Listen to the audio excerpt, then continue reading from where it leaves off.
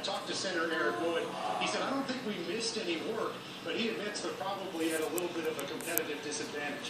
They didn't practice Wednesday or Thursday.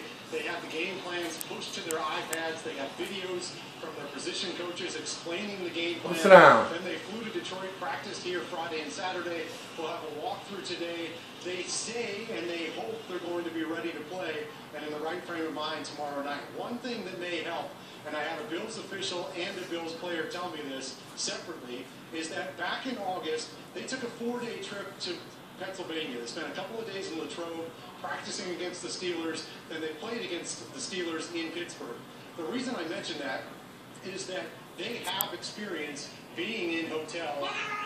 Excuse me for this. Being in hotels and, and, and working out of meeting rooms, having a training room set up. Then they played against the Steelers in Pittsburgh. The reason I mention that is that they have experience being in hotels. Excuse me for this. Being in hotels and, and, and working out.